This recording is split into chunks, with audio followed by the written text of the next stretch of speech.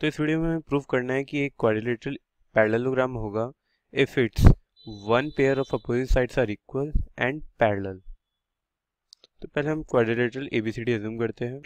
तो हमने एक एबीसीडी क्वाड्रिलेटरल लिया है और हमें ये प्रूफ करना है इसमें कि A B C D is a parallelogram हम बस ये प्रूफ और हमारे पास गिवन क्या क्या है? गिवन है हमारे को कि A B is parallel to C D and A B is equal to D C ये हमें गिवन है। प्रूफ देखते हैं हम इसका।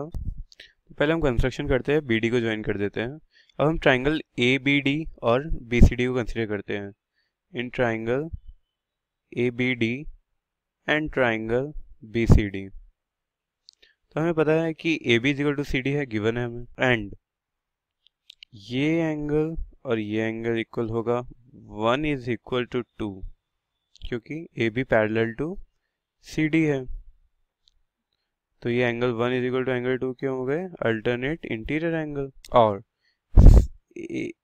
B D is equal to B D common they hence triangle A B D is congruent to triangle BCD by ASA rule. By CPCT से हम ये लिख सकते हैं angle three is equal to angle four angle three is equal to angle four by CPCT congruent part of congruent triangle ये दोनों equal है angle और BD ट्रांसवर्सल है। तो हम ये लिख सकते हैं कि AD पैरेलल टू BC हो जाएगा।